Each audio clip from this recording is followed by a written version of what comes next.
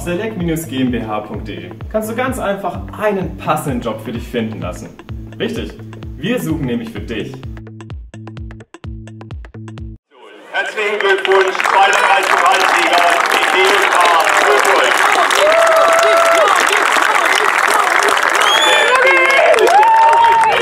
Stefan, ja, ihr habt eigentlich äh, insgesamt ein gutes Spiel abgeliefert, denke ich mal, habt ähm, einiges auf den Platz gebracht. Es hat nicht gereicht, zumal ihr aufgrund des frühen Gegentors in einer schwierigen Situation wart. Ja, wie hast du es erlebt?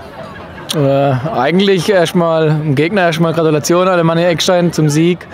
Und ich denke mal, für die DJK Mühlburg war es auf jeden Fall schon mal ein Erfolg, dass wir im Finale waren. Ne? Es ist natürlich blöd, wenn man dann gleich nach drei Minuten ne, durch einen individuellen Fehler so ein Gegentor bekommt. Aber im Großen und Ganzen denke ich doch mal, haben wir ein gutes Spiel gemacht. Die Fans haben was gesehen. Ne?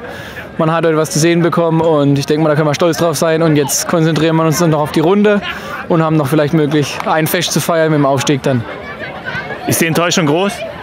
Das glaube ich nicht. Ich denke mal, jeder ist irgendwo froh, mal in so einem Finale zu stehen. Auch für mich war es das erste Mal. Und natürlich, ja, enttäuscht ist man. Aber ich denke mal eher, dass wir ein gutes Spiel abgeliefert haben und das überwiegt dann.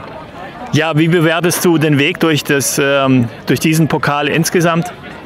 Ich denke mal, es war ein harter Weg und äh, wir haben da gezeigt auch schon vorher, dass wir Kreisligisten geschlagen haben, nicht nur einen und sind da eigentlich souverän äh, ins Finale gekommen. Und deswegen ist eher der Stolz darauf an die Mannschaft auch, die, den Weg dorthin geschafft zu haben mit der Leistung. Und das denke ich mal, ist nicht so einfach dahin zu kommen.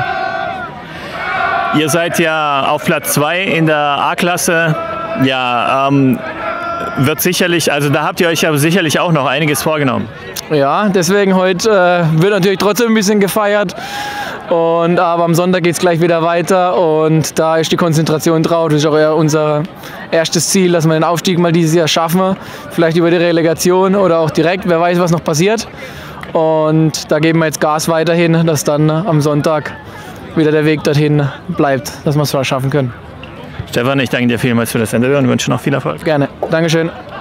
Worauf wartest du noch? Jetzt den passenden Job finden lassen auf select-gmbh.de.